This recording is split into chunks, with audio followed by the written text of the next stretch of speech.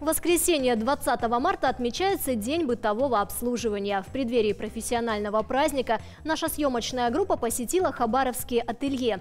Как их деятельность меняется в условиях санкций, выясняла Мариана Гейт. Хотим мы этого или нет, но мы вынуждены сказать эпохи вещевого ожирения «стоп». В связи с тем, что Зара, H&M, Бершка, Массимо Дути закрыли свои двери для российского потребителя, эксперты предполагают два пути. Что сейчас многие начнут экономить и нести свои вещи в ремонт. И второй вариант – модники и модницы в погоне за трендами а, пойдут в ателье. Мы посетили несколько швейных цехов Хабаровска и там подтвердили, спрос на пошив одежды за последние две недели увеличился. Заказывают весенние пальто и начали готовиться к лету. Зеленые, ярко-зеленые, синие, лавандовые. Все, что сейчас в тренде. Активнее, чем обычно, понесли и поношенные вещи. Конечно, последнее время больше стали приносить вещей уже использованных, но очень любимых. Работники ателье заметили, что много старых заказчиков вернулось. Недавно обратилась клиентка со Швейцарии, мы шили свадебное платье в том году. Э, вот она хочет приехать, то есть она планирует приехать, заказать себе, покупает уже ткани, потому что там ткани э, тоже очень дорожают стремительно. Приезжала клиентка моя с Испании, тоже мы шили свадебное платье, она туда уехала.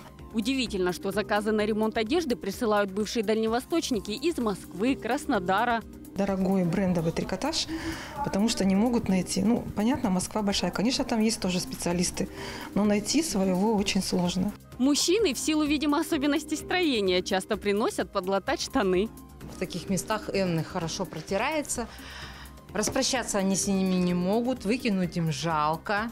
Конечно, жалко. Среди общей массы штанов из денима в среднем за 5-10 тысяч рублей попадаются и очень эксклюзивные вещи. Ну, и за, по-моему, 120 были, да, джинсы? Да. Конечно. Портнихи продлевают вещам жизнь, а в случае с денимом еще лет на пять.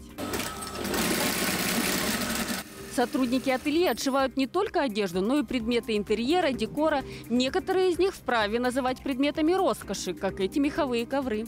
Был заказчик, да, и он заказывал прям в юрту, в большую, э, очень большие с волка. Волка вообще размеры же большие, они крупные. И у нас он около трех метров был. 2,80. Это, ну, такой вот. Из белок, да? С- ну, с белок это не мы шили, это другие шили. Мы шили с рыси, э, с бобров, барсуков. Несмотря на отсутствие уже привычного для нас изобилия магазинов, этой весной нам помогут остаться яркими и привлекательными наши старые добрые ателье и хендмейдеры. Мариана Гейт, Павел Баландинский. Смотри, Хабаровск.